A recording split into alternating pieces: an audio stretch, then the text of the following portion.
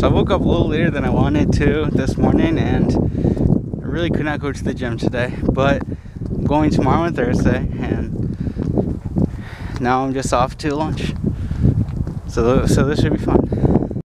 First off, I have to say I'm sorry that today's video is actually going to be a little short.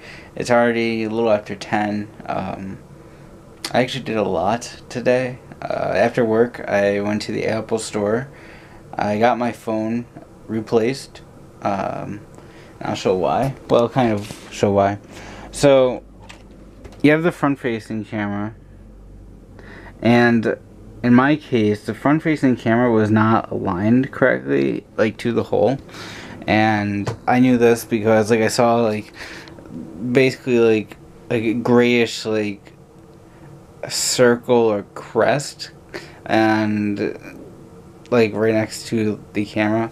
And so originally, a couple months ago, I had this problem, and I went to the Apple store, and they just decided to repair it, and it was all good when I left the Apple store. But then, maybe a month later, I started noticing the same problem again, and it's finally like time to go back to the Apple store, and so I did today. Sorry, I did not bring anyone along. I've I don't know, I just completely did not record. But got that all done.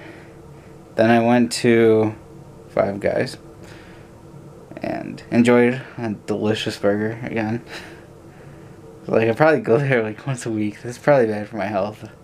But going to the gym tomorrow, definitely this time. And